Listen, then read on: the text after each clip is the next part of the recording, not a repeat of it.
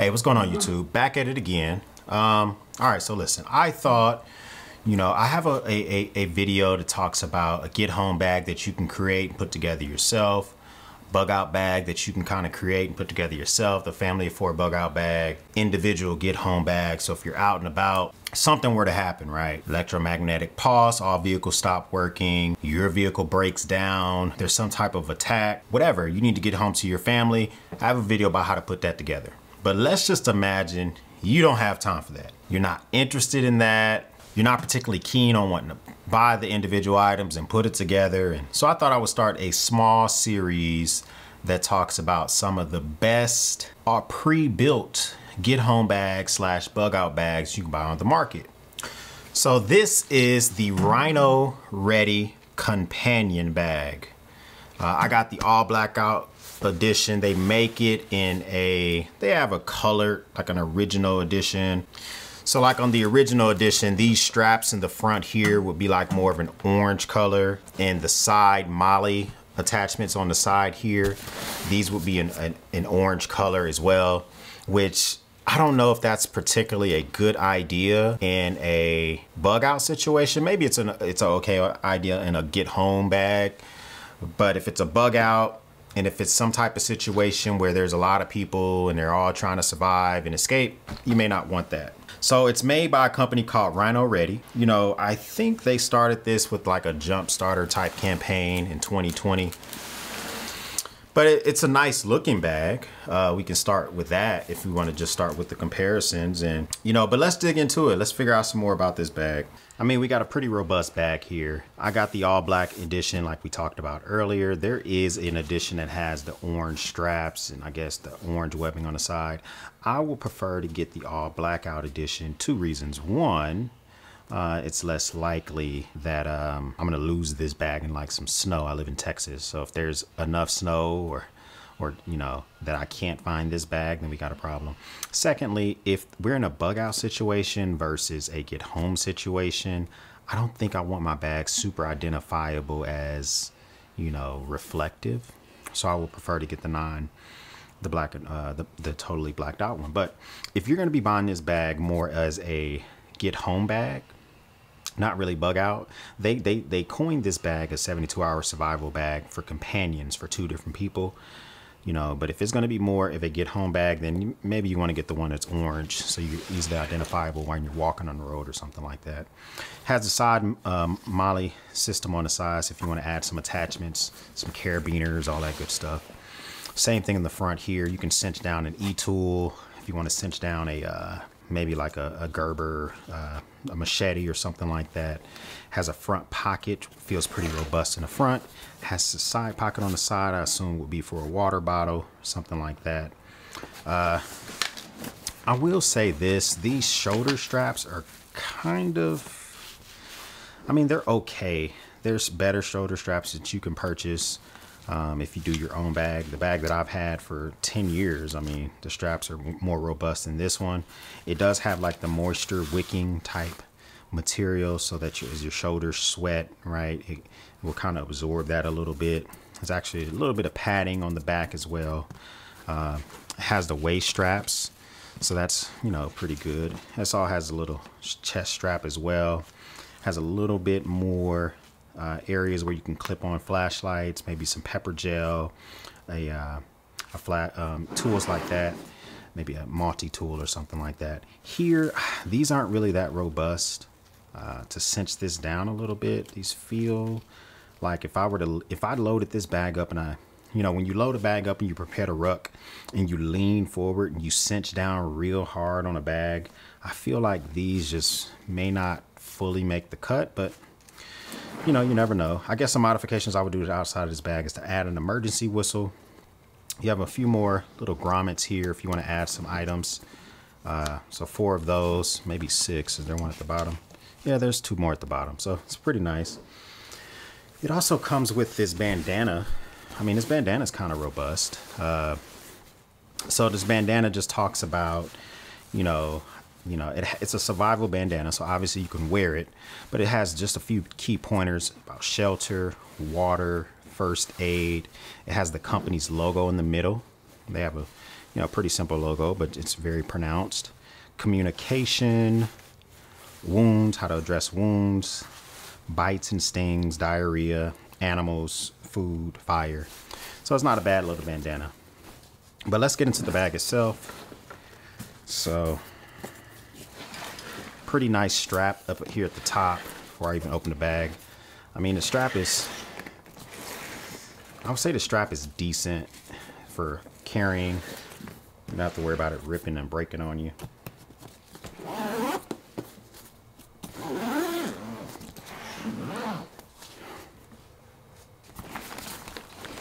So one thing that drew me to this bag to review for you guys is it has very big, detailed, you know, easy to identify sections.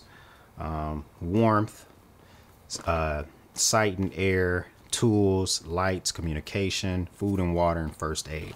So, you know, if you don't want to have to necessarily put together your own kit, they kind of just make it so it's nice and big and bright also, if you use this kit, imagine you use this kit for camping instead of using it for bug out or for an emergency, you know where to replenish your items, right? So that's that's that's not a bad thing. And sweet sound of Velcro. Uh, each of the uh, sections are removable, so you can take it out if you need to go down the trail to help somebody else, or if you just need to bring that one item with you, maybe you're going to barter a little bit and check out my uh, SHTF uh, portable bartering kit. But maybe you just want to barter a little bit and you don't want somebody to know you have a whole bag. Just take a couple of one section out, walk down the trail. Let's get into the warm section. The warm section is supposed to have two pairs of gloves, two raincoats, two blankets, some warmers, and a tent. So first off, these gloves these are pretty robust. I'm not gonna lie to you. I mean, they're they're line, they're inner line. They feel warm. I, I, mean, they feel like you can do a little bit of work in it. I don't know if you're gonna have the dexterity to like grab nuts and bolts and do engine work and stuff like that. But if you need to change like a tire, you need to slap these bad boys on. They feel like they'll be pretty warm. These blankets, um, they are okay. I would give these two steps above the kind of those emergency blankets that you find on Amazon. These are more reusable. Those blankets tear a lot easier. These feel a little bit more robust than those blankets you would find on Amazon. So, you know, I feel like these actually might be reusable. They purport them to be reusable. I'll give them a give them a few points for that. Um, also, some warmers. Now, these things to me are completely useless hand warmers, body warmers, stuff like that. Uh, I just, I'm just not a big fan of them. I feel like they're giving you, I guess they'll give you a little bit of warmth. And if you're in an environment where you really could use them, I guess, but I guess if you if you activate these and put them uh, maybe put them against your kidneys and let your blood flow through them, but I just I just I would personally prefer to layer up, put on warming layers and try to use some warmers because they're temporary. And I don't want to put my body through an up and down, up and down, up and down warming sensation. But, you know, they throw them in there. Okay, these raincoats. I would say these raincoats. Let me see. These things feel. Okay. These are actually kind of nice. These are some nice little raincoats here. Uh, they're a step above a poncho. I'm not pulling them all the way out because I don't feel like refolding them, but they feel a step above the poncho like you would get on a, um, you know, from Amazon or something like that. These these feel pretty good. All right, give them, give them some credit for that. But uh, just looking at this tent though, I gotta give you a four out of 10 for this tent. This is a two person tent. This thing feels complete trash. I mean, a, not only does it feel kind of, I mean, I guess it would get the job done for keeping the wind out, but I mean, where, don't see any tie, they give you a little bit of like nylon to use to tie it up one step below like 550 cord but i'm used to like nice size grommet hose on a tent. Even even if i even if they would have just provided me with two heavy duty tarps i think i could have made do better than this tent. I mean, I guess these tie downs in this tent, uh, it will work out, but I can't imagine it being that robust. that's it for the warmth bag. Uh, I think for the warmth bag, I probably would have added some, uh, you know, some beanies or something. I mean, I, I think I would have preferred to have beanies than having these warming warmth things or whatever the heck these things are. It's hand warmers. There we go. Couldn't think of the word. Hand warmers. All right, so now we kind of transition to the the sight and air. See, goggles and mask. So they give you two pairs, and I'm not gonna. Wow, really? okay, okay, okay. So I thought they would give you more high-speed masks than this. I mean, these are the N95 masks, but these aren't really reusable. You can't really wash them.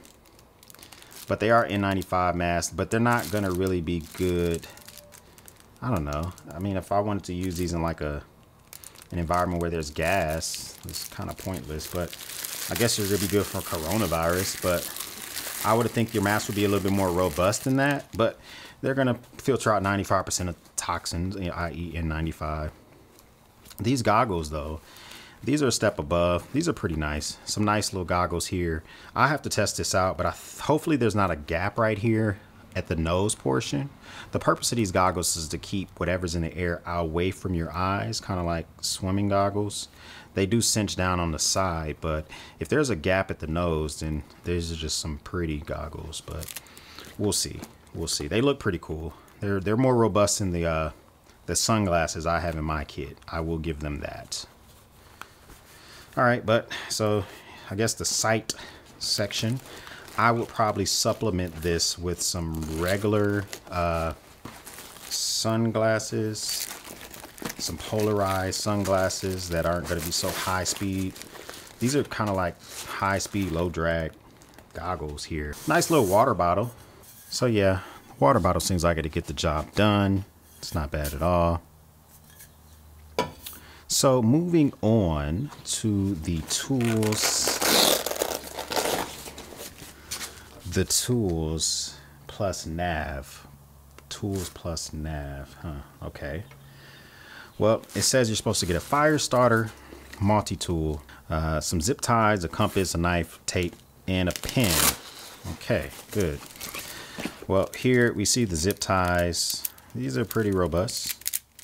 Pretty nice. They're two different colors, which is a good thing. That way, you know, if you have something marked, if you're putting these on two different areas and you need to mark you know, for what, that's a good idea. It's pretty nice. Let's see what else we got in here. There's the... All right, so it looks like some uh, duct tape and some signal tape.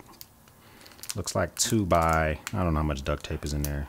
I guess that's that's a lot. It's not a, not a horrible amount of duct tape and a little bit of signal tape as well. So you get a um, you get a pad, some grid paper lines, type lines on here, and uh, has their logo on the front. This is not not right in the rain type paper, so be careful writing on that. You do get a basic compass. when I say basic, I mean like this is a basic compass. The base of it is plastic. I mean, the compass is technically working. This is north behind me. Uh, pointing towards me is north, so it's technically working. But you can't shoot an azimuth with this thing. I guess, I mean, it's pretty, it's robust. It has measurements on the side, millimeters and inches. Has a nice little string so you can keep it around your wrist while you're walking. And it has a decent little bag. I will say, uh, attaching this is going to be not as easy as a, a, most of these type of bags. Most of these bags attach to the bag. This wants you to attach the bag to it. So yeah, you know, some nice 550 cord. I'll give them that. It has a nice little tie for it as well. All right, so here we have the multi-tool. All right, this multi-tool is not horrible. It's a nice little multi-tool. You know, the only issue I have with so far with a lot of their stuff is they're they're freaking branding the mess out of it, man. I mean, this thing here is branded with Rino, uh, but I mean, it has pliers in it. I see some knives and a rasp. See a Phillips head, slotted screwdriver, another knife, a small little hacksaw. I mean, it seems to get the job done. Uh, you know, can opener, has a little knife in there. I guess if you don't own a multi-tool, this is going to be a nice win for you. Nice little multi-tool. Feels, feels pretty sturdy. I'm not going to say it's trash. It's pretty good. Here, this is, okay, so they give you an included knife. Has a nice little finger guard to it. So if you need to do a little bit of self-protection. Kind of wish the knife had a little bit longer extended finger uh, protection on this side because if you're trying to like imagine you're holding a uh, you know so imagine this is a, a branch or a stick and you're trying to sharpen it I mean it'd be nice if you had a little bit more on the other side and okay this is going to need to be sharpened just FYI if you get this thing out of the bag, it needs to be sharpened. No, my knives, normally if I run my finger over that, I'm checking my finger to see if it's bleeding. It is not. Um, what is this? Okay, so they also give you a, a, magnesium ferro rod, so you can take this ferro rod along with the, the knife and try to start a fire, but the knife is so trash that uh, good luck with that. I don't see any fire starting material, like they don't give you anything to actually attempt to start a fire but a fixed blade. The handle's not very robust. It doesn't like have a, uh, it'd be nicer if it had like a glass breaker on this side so you could leave it in its sheath. See a lot of fixed blades that you buy, I can leave a link below. Uh, but if you leave a lot of fixed blade in their sheath, you can take it and use it as a glass breaker. You can also use a lot of fixed blades as a hammer. This doesn't let you do any of those. I'll give this blade probably a three out of 10. Um, once it's sharpened up, maybe to be a six, but come out the bag is pretty trash. Here, it's a nice robust system to attach it to. You know, if you have a size system on your thigh or your pants, you know, you can attach this to a bag. It's not bad. The tool system, eh, I think I would have preferred a few more tools. Um, but I mean, if you don't have anything, this would be a this is a decent little setup. If you have nothing at all when it comes to a bag with tools in it, we move on to the other side of the bag here. All right, so apparently in the lights and comms, let's see what we get in here.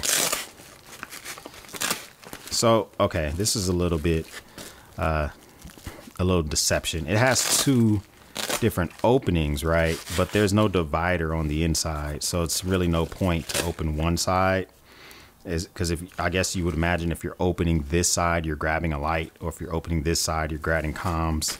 That's not the case at all. It's just one big pouch. All right, so inside here, what is this? Okay, it's a rechargeable flashlight. It has five modes, high, low, medium, strobe, and SOS. It tells you to charge it before you use it. Okay, so that this flashlight breaks my first rule of flashlights, which is all your flashlights should be either double A or triple A.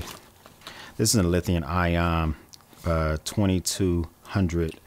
It is, I mean, it it's decent. It's, you can zoom in and make produce the light a little bit smaller, zoom out a little bit. Uh, it has a light on the side to let you know that it's lit, I guess. I mean, okay. Here, the, all right, I have to kind of knock you for this. We're in 2021, guys. This is a, a micro USB charger. I don't know if you can see that. But you guys got to give it the USB Type-C. Uh, that's where everybody's transitioning to. All my chargers USB Type C. If I am going to keep something like this in my bag, breaking my own rule for charging, I mean, get with the times, y'all. But, you know, it is what it is.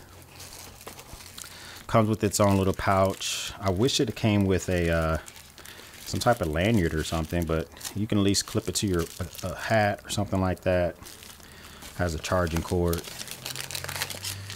You get two chem lights. I guess you can tie these to some 550 cord and spin it around in a circle and create like an emergency signal. Uh, you get a headlamp. All right, so this headlamp follows my rule. This headlamp apparently uses some AAA batteries. It makes makes me feel a little bit better about that. I'm not sure about the lumens of this thing. It does not feel robust whatsoever. It is definitely plastic all around. I mean, you can definitely get you a nice headlamp from like Columbia. It does articulate a little bit. So if you need to articulate downwards and I guess it's to tighten around your head. All weather matches.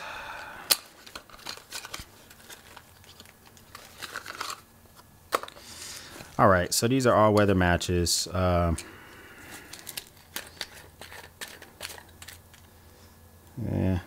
Okay, I guess my issue with this is the strikers on the outside. It does kind of have a little extra striker strip just in case the one on the outside is no longer effective.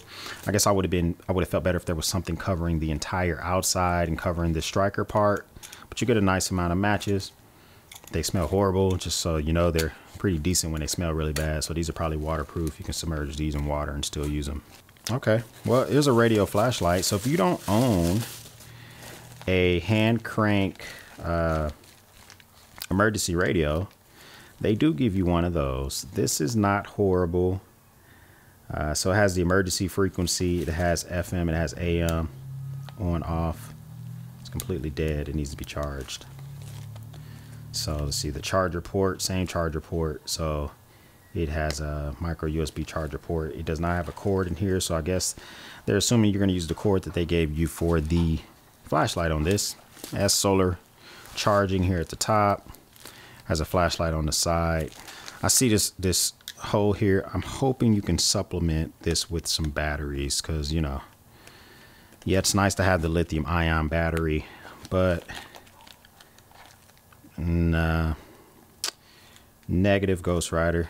So yeah, I mean, I would prefer to have an emergency radio that uses maybe has an extra port where you can put AA or AAA batteries in it and it has a lithium ion battery inside.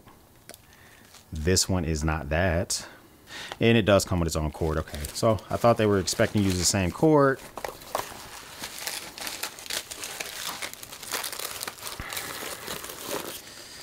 Okay, so food and water. Three day survival. I'm this just does not feel like three days worth of doesn't feel like three days worth of water, guys. Um, I mean, if, if you are trying to get home, there's two people. My assumption is you need a gallon a person a day they got a bunch of this emergency water satchels. You've seen this in some of my other videos. This stuff is good for five years. But they give you, let's see, three, I mean, six, nine, ten. I mean, they give you 10 of these pouches for two people for three days. That's trash. I, that This is not, yeah, it's not going to make the cut. Um, they do give you a bladder and a filtration system so that you can uh, gather your own water and drink directly from these bladders. And they give you a little uh, holder for that. It's not very robust at all. This holder is not good at all. Not good holder at all. They also give you a little bit of instructions on how to use this thing. It's pretty standard though. I don't even know how big these bladders are. I'm assuming they're like 24 ounce bladders or something like that. But I mean, they're expecting you, if you're traveling for three days, and they give you 10 pouches. I think I would have preferred to have more pouches. And then they give you this. I, I'm just not a fan of these things. These things are, I mean, these are high caloric emergency rations. Uh, a lot of people use these and you're supposed to ration them up, but there's remote, more robust options out there. Uh, you'd be better off buying some MREs and compressing them down. Like you can probably make, you know, uh, two RM, two MREs per person per day work. So maybe have six MREs and you just kind of break those up. This is, I mean, this is going to get you what you need, but I can imagine that this is going to also expand upon your dehydration. I'm just not a big fan of those. So, uh, apparently there's supposed to be water tablets in here as well. I guess it was in here. Yeah, that's just not good. Rino, I gotta hit you on that, man. Like, I would have preferred to have, you know, maybe some more water pouches and maybe water tablets because then I can take that canteen, that pretty, it's pretty sweet canteen you give me, right? And freaking drop some water tablets in there and freaking go to town on way more water than this filtration. So just, I don't know, man. I'm, uh, I'm not a big fan of the, the food and water section. All right, so first aid, See, it's nice and red, so you kind of know this is a first aid. Has a little symbol on the front, gives you an indicator. All right, so I'm seeing some medical scissors. I'm seeing some cold presses and some antiseptic wipes. I mean, unless these are gloves. Gloves should be like one of the top things. Okay, so there are some gloves in here. These are gloves. Good to go. At least they're not making you dig to find the gloves if you're trying to do some type of servicing or something like that. So that's good. I mean, this could be more robust. They do leave you a little bit of empty pouches here if you want to add some items. They have a little pamphlet in here. I'm assuming that's explaining what's in here. There's a bunch of gauze and there is some bandages in here. Some trauma pads, more trauma pads, more gauze. Yeah, um, this is pretty basic. I think I would have preferred to have some stuff to help with, um, you know, maybe, maybe can I get one tourniquet? Yeah, this is, this is going to get the job done for the super basics. There's nothing in here to really do much of anything else on the trail, but it's going to give you the basics. So, all right, well, that seems to be about it. This thing's $399. I mean, the bag is bonded, it is waterproof. I just, I don't know, man. The bag itself is, it's okay. I'm a, I just don't imagine that this is a bag that you're gonna be able to throw in water and use to float. They don't even advertise that on their website. If you just really like the bag, you can buy the bag on their website and you can actually buy the compartments and you can fill it up yourself. Would I recommend buying this? I would give it a yes, but I would not use this for bugging out. I would only use this bag for getting home. As a get home bag, I guess I would use it. I mean, if it's an EMP or some type of other attack and you're gonna be inside of like an office building, waiting for like dust to clear for like two weeks, this bag isn't robust enough for that. You know, you can't even really add items to it to make it a longer get home bag. Uh, I definitely would not use this as a bug out as is. I would have to supplement it. We will be comparing that bag with the Uncharted Supply Company's bag. We'll be doing a direct comparison.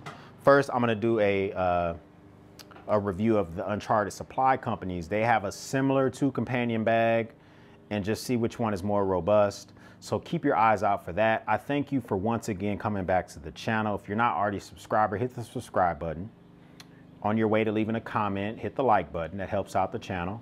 We got more things to come. I'm glad that you came back. In the meantime, we'll speak soon.